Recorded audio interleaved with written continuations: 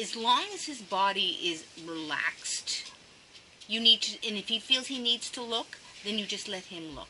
Now you intervene, of course, if you see his tension start to rise. But we need to allow this boy to look around and make sure he feels So I wanted to get out there in the front. I want him to be able to look if he needs to, and even if he's doing his sprinkles. If he wants to stop and look, let him. Don't have to encourage him. Yeah, come on now, Rigel, smell, smell, smell. No, let him look. He'll look and then he'll put his nose back down.